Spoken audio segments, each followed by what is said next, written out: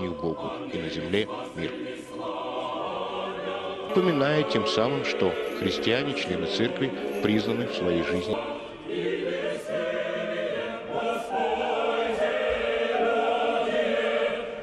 их содержание.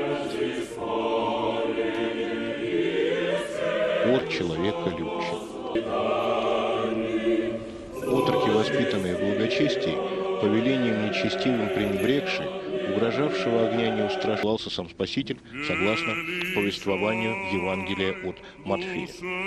И э, песнопение завершает э, череду этих торжественных рождественских гимнов песнопение, прославляющее Божию Матерь.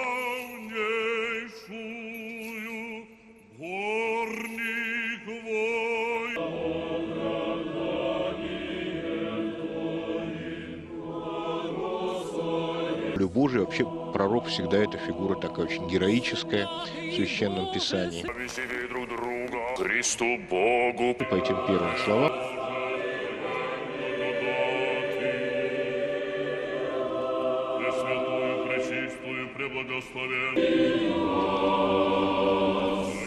что богатейшее наследие и века и Византии, которые наши предки приняли вместе с крещением Руси.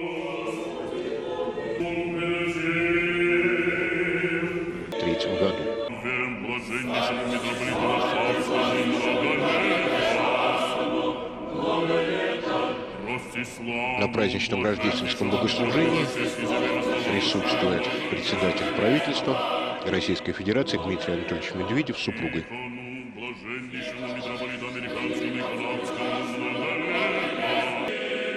А, дело в том, что святой великомученик Георгий Победоносец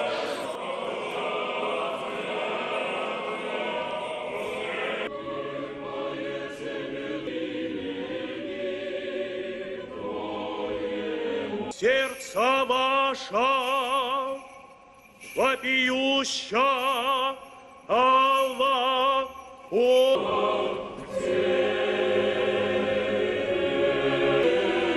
Прочитаем текст Евангелия по-русски. «Не звезды и, послав их в Вифлеемение не возвращаться к Ироду, иным путем отошли в страну свою».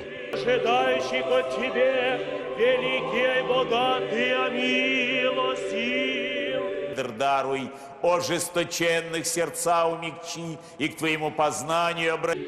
Всех собравшихся, всех православных, молящихся в храме Трикирием и Дикирием, души и сердца священнослужителей для достойного совершения Евхаристии. Во время просительной, а это истины, это религии, которые проходили, соответственно, в городе Никее в 325 году первый.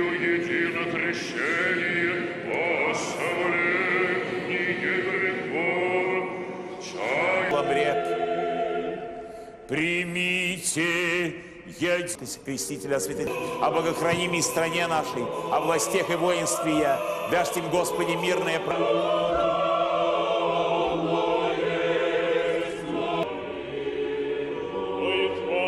Нам очаги скорби, гнева и нужды, и на небе Говорили, веков учеников.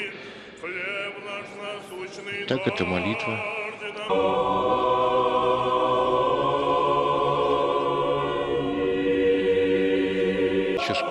Итак, исполните закон Христов.